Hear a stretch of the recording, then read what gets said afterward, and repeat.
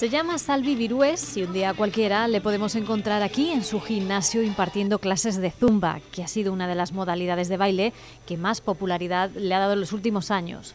Sus clases siempre están llenas y los eventos que organiza o en los que participa también. El próximo que ella tiene preparado es para el 20 de noviembre en las bodegas Miguel Guerra.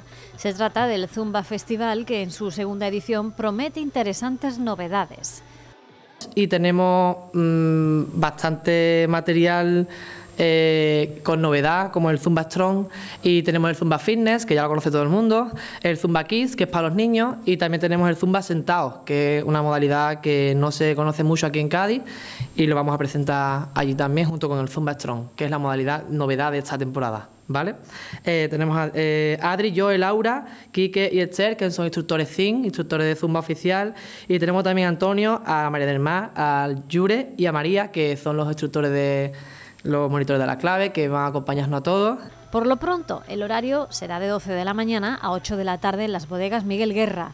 Allí, además, habrá una tienda oficial, degustación de paella, castillo hinchable, animación para los más pequeños y muchos regalos. En pocas palabras, 8 horas de baile, diversión y actividades en torno al Zumba. Pues este festival de, Zumba, Zumba Festival, se desarrollará el próximo 20 de noviembre en la bodega Miguel Guerra y dará comienzo a partir de las 12 de la mañana. Y está aproximadamente previsto que sean pues casi 8 horas o más de 8 horas intensas de baile, de diversión y actividades en torno al Zumba. El precio de la entrada será de 5 euros para los adultos y de 3 para los niños y ya pueden adquirirse.